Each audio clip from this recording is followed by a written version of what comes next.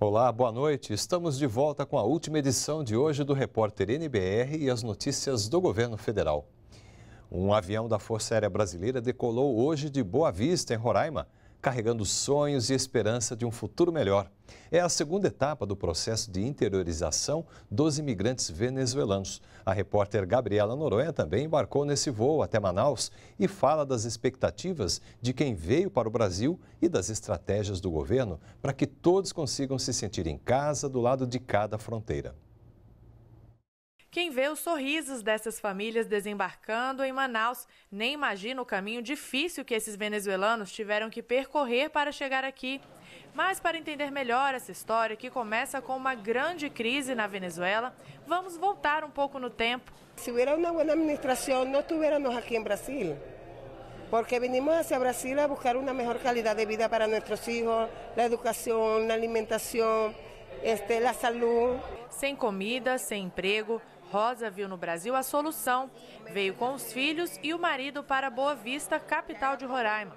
Assim como ela, entre 2017 e 2018, mais 48 mil entraram no território brasileiro pela fronteira em Pacaraima, segundo a Polícia Federal.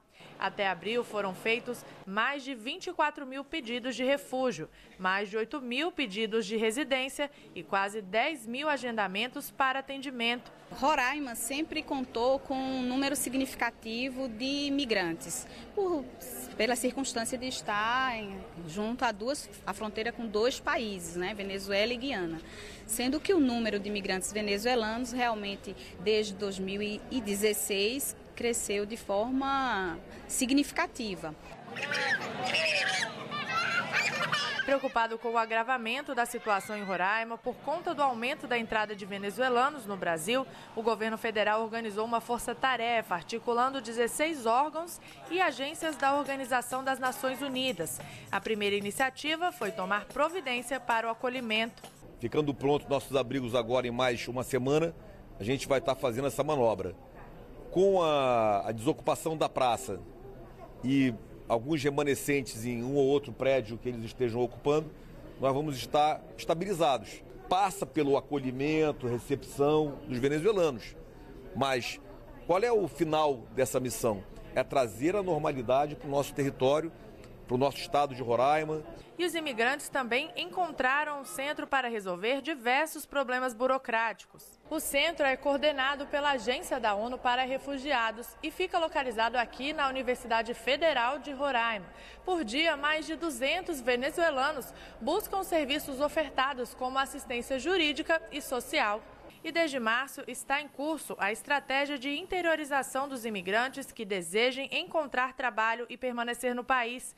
Os primeiros grupos, com 256 pessoas, seguiram para Cuiabá e São Paulo. Agora, mais 233 venezuelanos desembarcaram em São Paulo e Manaus. É voluntário, a pessoa ela vai se ela quiser.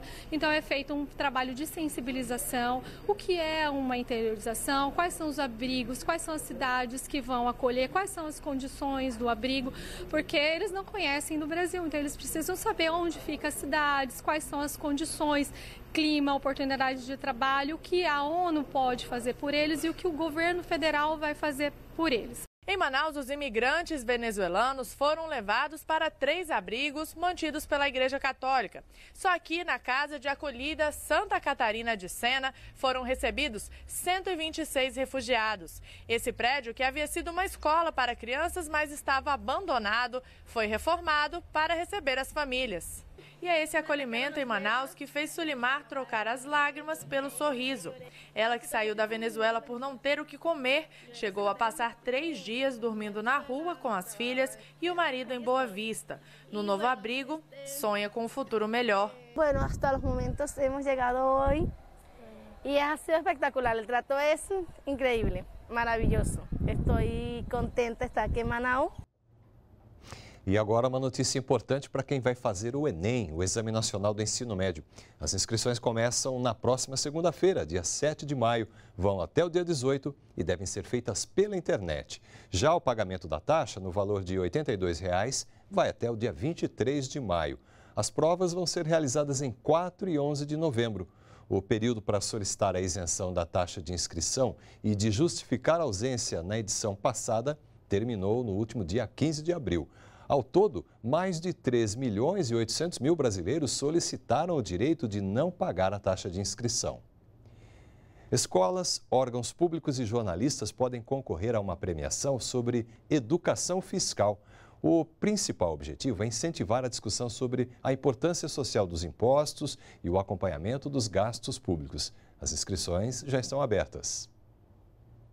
O Prêmio Nacional de Educação Fiscal vai premiar sete vencedores, três escolas, dois órgãos públicos como universidades ou prefeituras e dois jornalistas. A ideia é mostrar à população a importância de valorizar os recursos, de combater a sonegação fiscal e também de acompanhar como é gasto o dinheiro público. Ao todo, serão 43 mil reais em premiações. As inscrições estão abertas até o dia 13 de julho pelo site Prêmio Educação Fiscal www.org.br. De Brasília, Márcia Fernandes.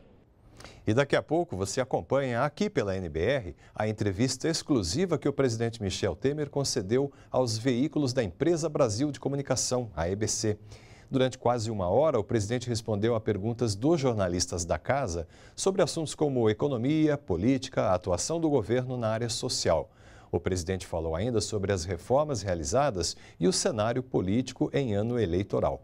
Temer destacou ainda que o diálogo e o enfrentamento a problemas estruturais são a marca do seu governo. E nós ficamos por aqui. Você pode rever as reportagens no YouTube e toda a nossa programação também está na página da NBR na internet. Uma ótima noite para você. Aproveite bem o seu fim de semana e continue com a gente aqui na NBR, a TV do Governo Federal.